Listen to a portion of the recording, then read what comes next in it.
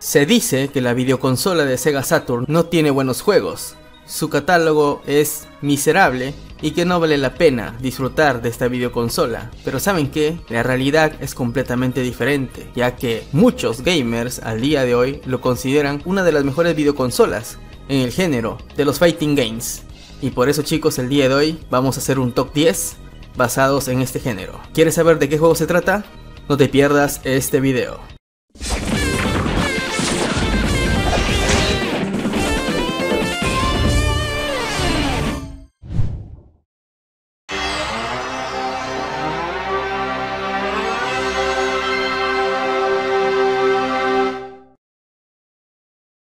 Hola chicos de Immortal Games, como siempre trayendo lo mejor de la emoción para todos ustedes. El día de hoy tenemos un video súper súper mega especial. Sí, porque te mostraré las joyitas de la videoconsola de Sega Saturn chicos. Y por supuesto en el género de los Fighting Games. Si tú eres un amante de este género como yo, este video te va a encantar. En lo personal vas a descubrir títulos interesantes o que quizás no conozcas al día de hoy. Y saben qué, valen la maldita pena. Así que a partir de este momento chicos, vamos a empezar. Antes de iniciar chicos, no olvides suscribirte al canal, activar la campanita de notificaciones para ver más videos así. Una vez mencionados chicos, empezamos. Iniciamos con el primer juego, sí, Final Fight Revenge. Es un videojuego de lucha 3D publicado en el año 1999 para sistemas arcade. Aunque esto parezca raro o extraño, la mejor versión se lo considera al día de hoy la versión de Sega Saturn, presentando un plantel original, sí, de la saga de Final Fight. Y por supuesto, ahí se encontrarán nuestros héroes favoritos como Cody, Agar y Guy. Básicamente es un juego de luchas al fiel estilo de Street Fighter, con gráficos 3D ya mencionados. Y bueno, básicamente esta es la única secuela de Final Fight publicado para este sistema y de este género. El videojuego fue productivo en Estados Unidos, vendió bien, pero lamentablemente fue poco conocido a nivel mundial y fue un título netamente exclusivo para la videoconsola de Sega Saturn. El título no estaba nada mal, tenía movimientos interesantes y los personajes contaban con un super art muy espectacular para la época y los combos eran geniales y por esto y mucho más este juego se encuentra en el puesto número 10. A continuación, el siguiente juego. En el puesto número 9, Group on Fight. Este juego se considera la cuarta entrega de la serie Power Instinct y fue lanzado en el año 1997 en Japón fue el último juego de la serie. En relación con el nombre del juego, varió en comparación al título original. Eso sí, este juego tuvo un lavado de cara ya que incorporó muchos personajes desconocidos para los fieles seguidores de esta saga. En cuanto al juego contaba con 11 personajes, entre ellos algunos personajes del Power Instinct original. Y por supuesto, el título era netamente de lucha en dos dimensiones. Un juego interesante con movimientos espectaculares y super arts brutales. Y por supuesto queda completamente recomendado en esta posición. Continuamos. En el puesto número 8 tenemos a Golden Axe, El Duelo. Es un juego de lucha lanzado por primera vez para sistemas arcade y fue lanzado en Japón en el año 1994. Tiempo después fue porteado para Sega Saturn y fue algo completamente genial.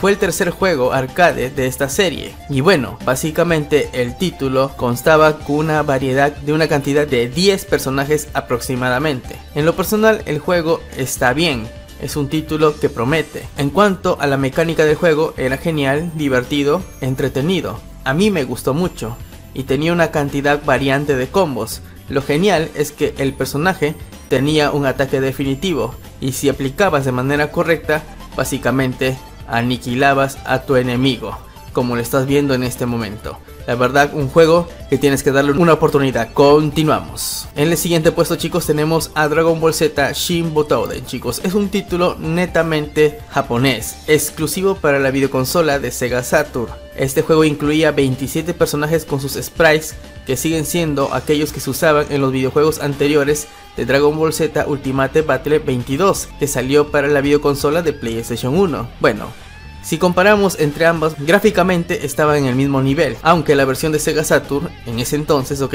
era algo superior a la versión de PlayStation 1. En cuanto al título, pues tenía un modo historia, un modo versus y un modo batalla en grupo que empezaba desde la saga de los androides hasta la saga de Cell. Básicamente era un poco corta en comparación a otros títulos que salieron tiempo después. El juego no está nada mal, es un juego interesante, entretenido y que vale la pena de verdad darle una oportunidad. Por eso está en este puesto. A continuación chicos, el siguiente juego. En el puesto número 6 chicos tenemos a Real Bow Fatal Fury Special. La verdad, este es un título genial. Salió en el año 1997 para el sistema Neo Geo. Tiempo después salió una versión o un port para la videoconsola de Sega Saturn. Se considera la mejor versión que haya salido para una videoconsola. Eso sí, el título fue tiempo después retitulado con otro nombre para la versión de PlayStation 1. Pero en fin, en cuanto al juego chicos nos presenta un modo historia el cual nos relata la legendaria batalla de muchos personajes que nosotros ya conocemos.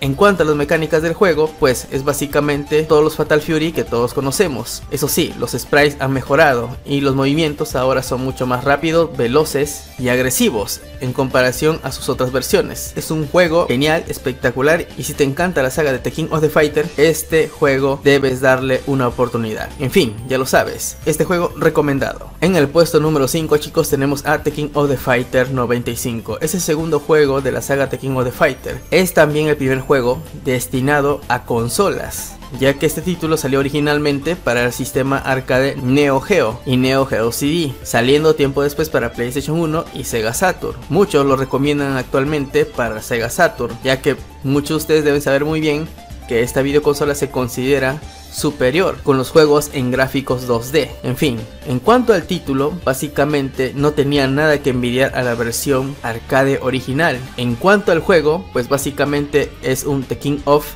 de toda la vida.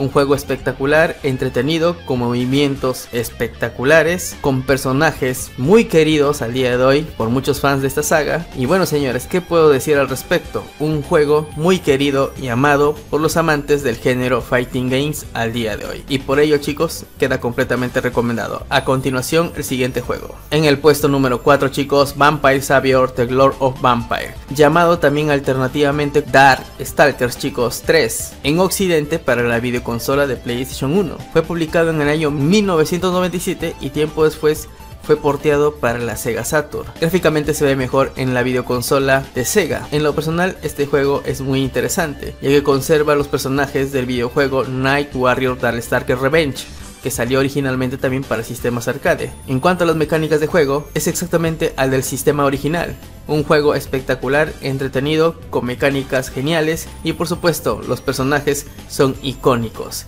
Si te encanta películas de hombres lobos, vampiros, momias y más, este juego te va a encantar. Y por ello está en este puesto. A continuación, el siguiente juego chicos. En el puesto número 3, X-Men vs Street Fighter es un videojuego de luchas arcade publicado por Capcom en el año 1996 para sistemas arcade. Tiempo después salió un port para videoconsolas en el año 1997 para la videoconsola de Sega Saturn. A diferencia de la versión de PlayStation 1, la de Sega Saturn, aunque salió un año antes que en la videoconsola de Sonic, el sistema de equipos de lucha fue omitido en la versión de PlayStation 1. En cuanto a la versión de Sega Saturn, se considera hasta el día de hoy la versión más fiel de los arcades y por ello está en este puesto. Un juego increíble, impactante, que a muchos fans de los superhéroes nos volvió completamente locos en su momento. Un juego espectacular, una obra de arte, simplemente brutal chicos, y por esto está en este puesto. A continuación, el siguiente juego. En el puesto número 2 chicos, aunque mucho les sorprenda, Astra Superstar. Es un juego arcade de lucha versus 2D que salió en el año 1998. Muchos de ustedes se preguntarán por qué este juego está en el puesto número 2. Bueno, ahora te lo menciono. Básicamente chicos, aunque este juego no salió del país nipón y es muy desconocido por muchos, bueno chicos, este juego es considerado como el juego de luchas en 2D que explotó al máximo la videoconsola de Sega Saturn. Los movimientos de los personajes eran completamente increíbles. Podías hacer combos brutales. Aparte de ello, que la velocidad de los personajes y los sprites eran únicos. Un juego a toda regla que lamentablemente en su momento no pudimos disfrutar, pero que en la videoconsola de Sega Saturn se podía disfrutar al máximo en esta videoconsola. Un juego increíble, genial, pero que lamentablemente fue desconocido en su momento. Es considerado como una de las joyas de Sega Saturn. Y por esto, está en el puesto número 2. A continuación, el siguiente juego. Y para terminar, señores, en el puesto número 1, Street Fighter Zero 3. llamado Zero, originalmente en Japón y en Asia. Es un juego de lucha que salió en el año 1998. Fue considerado en su momento como una obra maestra para los sistemas arcade de Capcom System 2 o conocido también como CPS2. Es el tercero y último videojuego de la serie Alpha. Al mismo tiempo fue considerado como uno de los juegos con el mejor sistema de combate y por supuesto tuvo múltiples revisiones. Algo espectacular es que incluía una cantidad brutal de personajes, una lista mucho más extensa de personajes en comparación a sus versiones arcades y por supuesto también incluía nuevos temas musicales. Y sí, está de más mencionar que la videoconsola que lo supo exprimir al máximo fue, sí, la videoconsola de Sega Saturn. Y por ello es considerado como el mejor juego de lucha chicos para la videoconsola de Sega Saturn al día de hoy. En fin chicos, esto sería todo, no tengo nada más que decir al respecto y yo me despido, soy Carlos con 5 Color y esto fue Immortal Games. Hasta la próxima, adiós con todos ustedes.